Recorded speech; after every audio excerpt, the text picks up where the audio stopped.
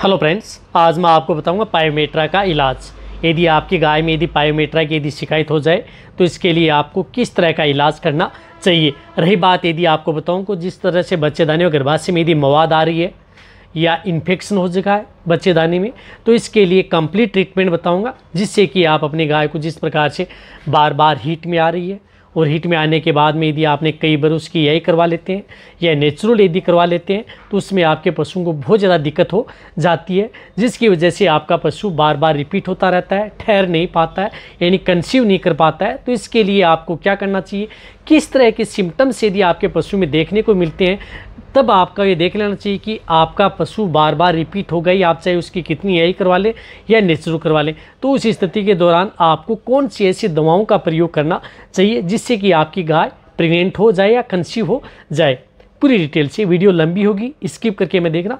जितने भी जो अभी नए जुड़े हैं, चाहे वो पशुपालक हो या वेटरनरी स्टैंड तो पहले आप इस चैनल को सब्सक्राइब कर लें। साथ में बेल आइकन और आल वाला ऑप्शन दबा लें, क्योंकि इस चैनल पर आपको बहुत ही सही और सटीक जानकारी के साथ वीडियो दी जाती है। रही बात पायोमेट्रा की केस अब देखने को भी मिल रहे हैं, और मेरे पास बहुत इस तरह कमेंट्स भी आते हैं। मैं हर तरह की वीडियो आपके लिए इस चैनल पर लेकर के आता हूँ। लेटेस्ट जिस तरह की फ़ील्ड में केस देखने को मिलते हैं, उसी के अनुरूप आपको पर डे के हिसाब से आपको इस चैनल पर वीडियो देखने को मिलती है। सही और सटीक जानकारी के साथ वीडियो देखने को मिलती है। उसमें किसी भी तरह की कोई भी आपको इस तरह की गुंजाइश नहीं होती कि उसमें आपको रिज़ल्ट ना मिले। देखो, यदि आपका पशु यदि पायोमेट्रा की शिकायत है, यदि आपके पशु में जिस प्रकार से आपने देखा होगा कि आपके पशु में गर्भाशय में यदि मवाद रूपी आ रहा है, जो डिस्चार्ज आ रहा है मटमेला आ रहा है, या एकदम जिसके अंदर आपको लग रहा है कि कुछ मवाद टाइप यदि बाहर फेंक रहा है तो ये देख लेना चाहिए कि उस स्थिति में कभी भी आप अपनी गाय की एआई या नेचुरल दोनों कभी भी न करवाएँ। टाइम वेस्ट नहीं करना चाहिए। वहाँ पर आपके पास यदि नज़दीक यदि पशु चिकित्सक मिले तो उसकी सलाह ज़रूर ले लेनी। चाहिए। रही बात ये पायोमेट्रा बनता क्यों है? ये तब बनता है जब यदि आपके पशु में जिस प्रकार से यदि जिसे हम कहते हैं कि मेला नहीं डाल रही है, यदि मेला डालती है, यदि उसका कुछ भाग रह जाता है, जिस प्रकार से यदि ब्लीडिंग का कुछ भाग रह जाता है, या जो प्लेसेंटा जिसे रिटेंशन हो रिटेंडो प्लेसेंटा या बोलते हैं, जिसे हम जेर निकालने के बाद में या जेर पूरी नहीं गिर पाती है या जेर का कुछ भाग अंदर रह जाता है उसके कारण आपके पशु में धीरे धीरे वो क्या करता है कि अंदर इन्फेक्शन फैलना स्टार्ट कर देता है और उसकी वजह से वहाँ पर मवाद रूपी रूप धारण कर लेता है। तो उसकी वजह से आपका पशु ठहर नहीं पाता है। रही बात कई बार यदि आपके पशु में इन्फेक्शन वैसे भी हो जाता है एनवायरमेंटली भी इन्फेक्शन आपके पशु में बच्चेदानी में हो सकता है। या जो मैंने बताया कि उसकी वजह से जेर में यदि कुछ भाग रह जाए, मेला यदि प्रॉपर नहीं डाले, या यदि आपने हाथ से जेर निकलवाई है या डिस्टोकिया की यदि शिकायत हुई इस तरह के केस यदि होते हैं तो उसमें इस तरह की पायोमेट्रा बनने के ज़्यादा चांस रहते हैं। तो इनके बचाव के लिए है कि जब भी यदि आप अपने पशु के यदि आप जेर यदि आपका पशु डाल भी देता है, आसानी से डाल देता है, स्वस्थ है, किसी भी तरह की कोई दिक्कत नहीं है तो भी आपको कुछ दवा देनी चाहिए। यदि आपके पशु में हाथ से, यदि आप किसी वेटनेरियन डॉक्टर से यदि हाथ से जे निकलवाते हैं तो उसके बाद में भी आपको दवा देनी चाहिए। तो उसके तौर पर मैं आपको बता रहा हूँ जिस प्रकार से ये एग्जापार आती है, आयुर्वेद की। ये आप अपने पशुओं को दे सकते हैं। 100 एम सुबह और 100 एम शाम को। यदि आपका पशु आसानी से जेर भी डाल दे, कोई दिक्कत नहीं। फिर भी दे, ताकि आपके पशु में किसी भी तरह का वेजाइनल इन्फेक्शन ना हो। पायोमेट्रा या अदर जो इन्फेक्शन आपके पशु में देखने को न मिले। ये आप अपने पशु को ज़रूर दे देनी चाहिए। ये न तो आपको कोई सी भी जो यूट्राइन टोनिक आते हैं, कोई सी भी हो, अच्छी कंपनी का ब्रांड का वह देना चाहिए। सौ एम सुबह, सौ एम हम लगातार पाँच दिन आप दें, ताकि उसकी अच्छी तरह से वेजाइनल ड्रेसिंग हो जाए।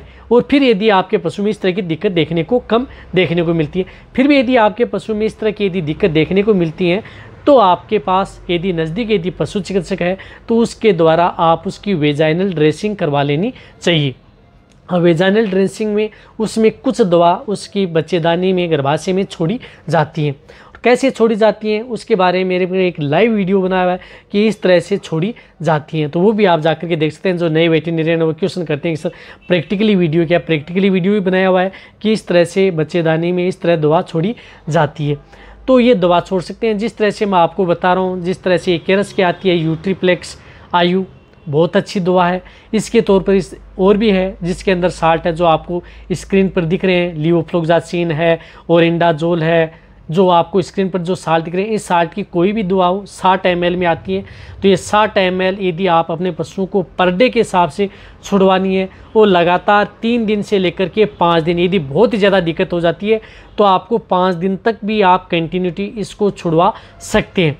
यदि आपके पास जो अच्छे वेटिनेरियन हैं, जो आपसे ज़्यादा पैसा नहीं लेते हैं, दवाई अच्छी छोड़ते हैं, यदि आप दवा यदि आप अपने पास लेकर के रख सकते हैं, कोई वेटिनेरियन है तो उससे भी आप ये छुड़वा सकते हैं।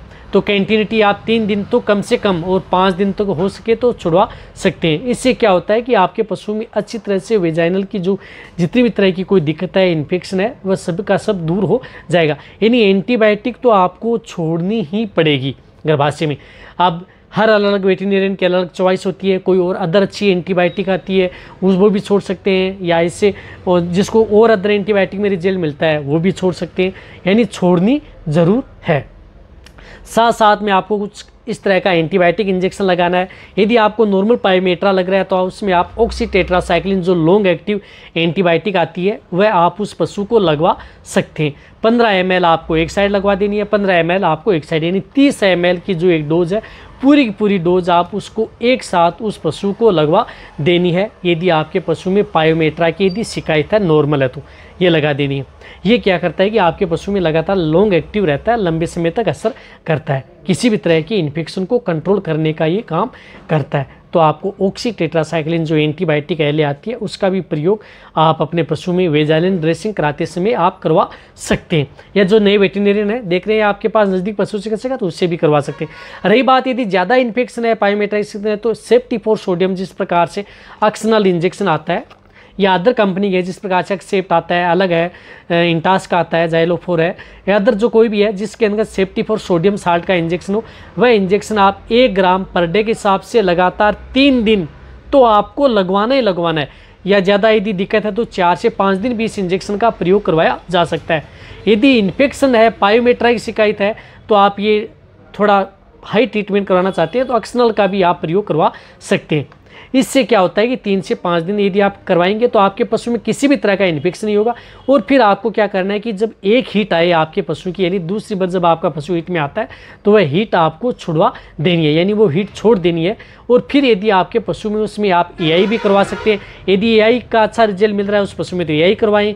यदि आप वो नेचुरल स्वीकार कर रहा है तो आप नेचुरल भी आप उसकी करवा सकते हैं। बहुत ही अच्छा रिज़ल्ट मिलेगा साथ साथ में एक और बताना चाहता हूँ कि आप अपने पशु को अच्छा मिनरल मिक्सर पाउडर दें अच्छा संतुलित आहार देते रहें। वह यदि आप देते रहेंगे तो आपके पशु में कंसीव होने के सबसे ज़्यादा चांस होंगे। रही बात रिपीट होने के चांस ना के बराबर होंगे। इससे क्या होता है कि आपका पशु आसानी से ठहर भी जाता है।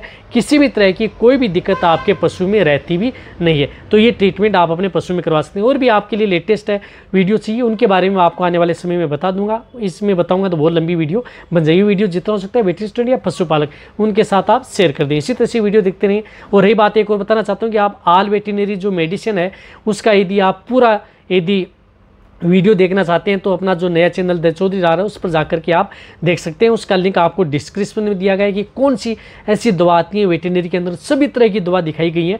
तो वो जाकर के आप देखें पूरी डिटेल से आपको लाइव देख सकते हैं कि इस इस तरह की ये दवा आती है। तो इस वीडियो को जितना हो सकता है पशुपालक वेटेनरी उनके साथ शेयर कर। दें इसी तरह से वीडियो देखते रहें इसी तरह से प्यार देते रहिए। थैंक्स धन्यवाद।